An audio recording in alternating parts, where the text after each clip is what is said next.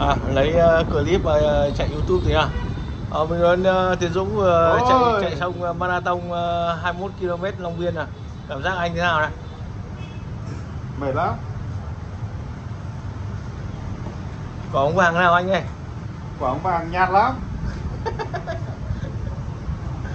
Thôi hy vọng là sau cái kỷ, kỷ nguyên uh, Messi Ronaldo này thì uh, mình sẽ chứng kiến một cái uh, cuộc đua mới nó là nhiều chờ đợi hơn, nhiều hy vọng hơn. Nó không còn nhạt nữa. ai? Hy vọng ai? Mbappe, Hà Lan bây giờ có cả Bellingham nữa nhưng mà chắc chắn một hai năm tới thì thêm uh, vài ngôi sao đang lên nữa. Nó sẽ là đua- Gil của Barca. Nó sẽ là cuộc đua của bốn năm người chứ không phải là cuộc đua một hai. Nhưng mà- người 15 năm vừa rồi. Hết kỷ nguyên của Messi Ronaldo là, là bóng đá thế giới là cũng chán rồi đúng không anh đi xuống hơn nhiều đúng không? Nó cũng mất đi một cái uh, gia vị gì đấy nhưng mà với tôi thì nó lại uh, mở ra một cái cánh cửa mới một cái hy vọng mới à, nó tươi mới nó được chờ đợi hơn với những ngôi sao mà đang 19 đôi mươi. Messi Ronaldo thì đã quá non nê rồi. 15 năm năm nay rồi Thực ra bây giờ kế cận thì như anh nói là kế cận có Mbappe, Hà Lan với cả Bellingham thì thực ra là ai cũng nhìn thấy. Nhưng mà vấn đề là bóng đá thì nó luôn luôn là nó phát triển và nó nó không ngờ. Đấy cho nên là chắc chắn là sẽ còn những cái nhân tố mới nữa nó còn nổi bật nữa trong tương lai. Chưa biết trước. Quay trở lại V-League thì tình hình nào anh nhỉ? Mùa này là đá ha đá vắt sang mùa đúng kiểu châu Âu đấy 2003 2023 2024 ấy. dự đoán của anh nào? Thì league mùa này phải nói là rất là khó dự đoán. Trong uh, cá nhân uh, anh thấy là có khoảng năm sáu đội có thể đua vô địch. Hà Nội nói thế thôi như uh, ờ, họ vẫn khởi đầu chậm chạp uh, mấy mùa nay mà.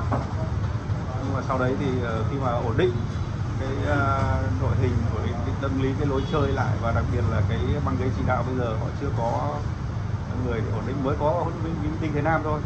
Vẫn phải chờ đợi nhưng mà Hà Nội khi mà họ ổn định thì họ vẫn là một đội bóng đáng gờm và có lẽ là một trong những cựu viên vô địch không loanh quanh nữa thì bây giờ dự đoán của anh đội vô địch là đội nào? Vô địch đội nào mình vẫn đánh giá cao Hà Nội nhé. Tôi Hà Nội mới đá một trận thôi. ngoài ra ngoài ra. Ngoài ra nói chung là loanh quanh là ba đội bóng thủ đô thôi nhưng mà cá nhân mình chờ đợi nhiều thứ khác đặc biệt là sau hai vòng đấu đầu tiên thì rất là ấn tượng với ờ, hai người trên băng ghế chỉ đạo là Chu Đình Nghiêm và ông Popov đấy Chu Đình Nghiêm của Hải Phòng và Popov của Thanh Hóa. Hai huấn luyện viên cực kỳ cá Ừ, tính bánh đa cua với cả nem chua đúng không? Đúng rồi, anh ha- khóa nhất hai món đấy uống bia đúng không? Đúng chuẩn luôn. Tôi tôi ờ, nói thẳng luôn năm nay Nam Định vô địch cho nó nhanh Nam Định thì ờ, đang hay đấy, nhưng mà nói chung là cái cái cuộc đua đường dài 26 vòng đấu thì cái sự ổn định là quan trọng nhất.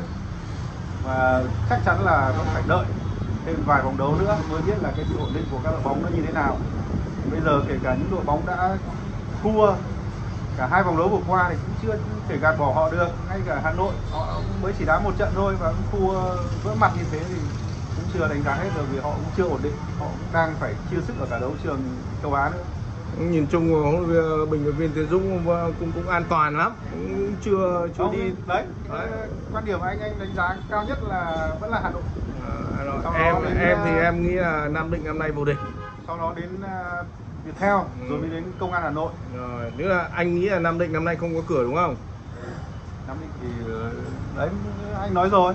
À, Nam Định thì vẫn có cơ hội cạnh tranh vô địch nhưng mà phải đợi vài vòng đấu nữa xem là họ có duy trì được cái ờ, sự ổn định hay không? Đấy. em thì em đoán năm nay Nam Định vô địch. Ngoài ra thì anh họ ấn tượng như nào về huấn luyện viên Popov?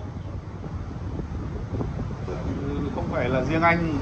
Ai cũng ấn tượng hết nếu như xem Thanh Hóa thi đấu nếu như xem ông Popov ông ấy chỉ đạo một huấn luyện viên đầy nhiệt huyết truyền lửa đam mê truyền lửa cho cầu thủ và đặc biệt là cái tầm ảnh hưởng lên lối chơi là cực kỳ lớn. Xem là biết rồi. Ok anh đấy, đấy như em thì à, vẫn bảo lưu là Nam Định năm nay vô địch. Huấn luyện viên Popov của Thanh Hóa năm nay là top 3 Đấy, công an Hà Nội top 3 Ở Hà Nội năm nay ờ, họ đầu tư vào mặt trận FC Champions League nhưng mà cũng không ăn thua rồi nhưng mà cho nên là năm nay khả năng ờ, Hà Nội ngoài top 3 ngoài top 3 Vâng. bất ngờ đấy. Đấy, bất Ok, ngờ á ok, Ừ, chơi ok nhá. anh. Rồi đấy, đấy là bình luận viên Tiến Dũng nha anh em nhá